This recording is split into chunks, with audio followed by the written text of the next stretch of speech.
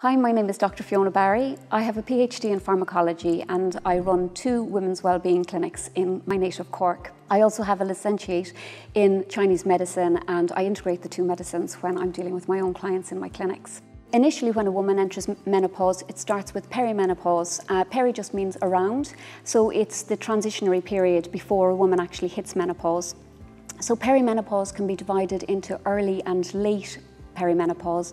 Early would be where the menstrual cycle still is pretty regular, and but unfortunately you're probably not ovulating every cycle. This means that progesterone levels decrease, but estrogen levels remain high, and this can lead to certain signs and changes in a woman's body. Late perimenopause is then when the estrogen levels also drop, and therefore a, a, woman might find that actually her periods start to, the cycle starts to lengthen out, and the periods may become a little bit more irregular. Most women obviously recognise that, um, but it's the early perimenopause for a lot of women that they don't realise what's going on in their body.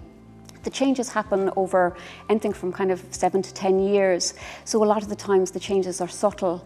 A lot of the time I'd in fact have women coming into me in clinic and they just don't understand what's going on with them.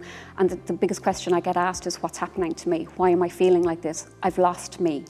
I guess first and foremost, reassurance is the, the main thing and education is huge. Um, knowledge is power and when we know what's going on with us, then we can take control of it and you can actually decide on the path that your journey takes. I think because we're having kids older, many women are having kids in their early 40s, that suddenly to find themselves in perimenopause maybe a year or two later is really a bit startling for them and they, something they haven't even considered. The average age of menopause is 51. However, realistically, when it comes to perimenopause, anything from the early 40s is, is, is feasible.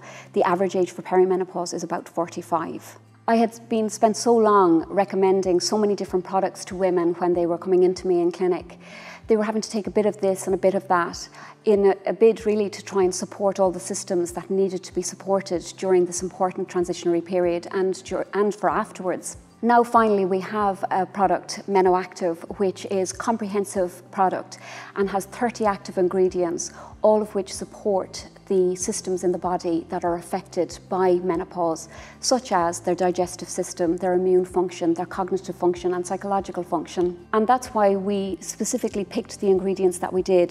There's 30 active ingredients in this product.